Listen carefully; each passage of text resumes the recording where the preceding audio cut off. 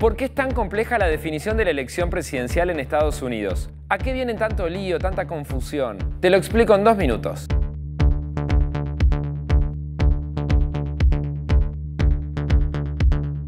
El suspenso está motivado por varios factores. El complejo sistema electoral estadounidense, la cantidad de gente que votó por correo esta vez, lo cual demora el recuento, y el resultado inesperadamente parejo que tuvo esta elección. Porque al final Trump sacó más votos de los que pronosticaban las encuestas. Pero el dato estructural que explica la incertidumbre es el sistema electoral de Estados Unidos, el mecanismo de elección, la elección indirecta, esto es, que no se vota de una al candidato preferido, en este caso Trump o Biden, sino a representantes que integran un órgano, el colegio electoral, que es, a su turno, el que elige al presidente. Y para enredarlo a todo aún más, está la cuestión de cómo se distribuyen a esos integrantes del colegio electoral.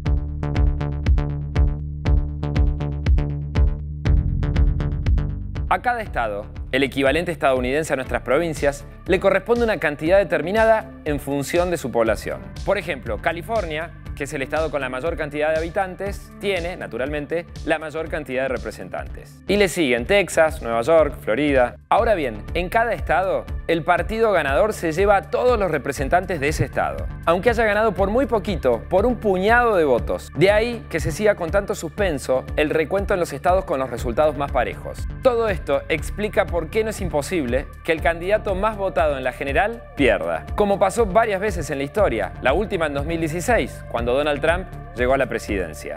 Esta vez está claro que el demócrata Biden sacó más votos. Pero por la distribución por estados, el próximo presidente podría haber sido Trump, aunque cada vez parece menos probable. El asunto quedaría definido si se termina de confirmar el triunfo de Biden en Nevada. Pero Trump viene mostrándose reacio a reconocer una derrota y apuesta a la judicialización de los distritos donde el resultado viene muy parejo, lo cual podría ser motivo de otro de estos videos. La cuestión es que este sistema indirecto, en el que el ganador de un estado se lleva a todos los representantes de ese estado, menos dos excepciones que mejor ni mencionamos, se viene usando puntualmente desde hace más de 230 años y es criticado por muchos, incluso en Estados Unidos pero también tiene una multitud de defensores que señalan que es una garantía de federalismo y que la historia de Estados Unidos muestra que institucionalmente es eficaz.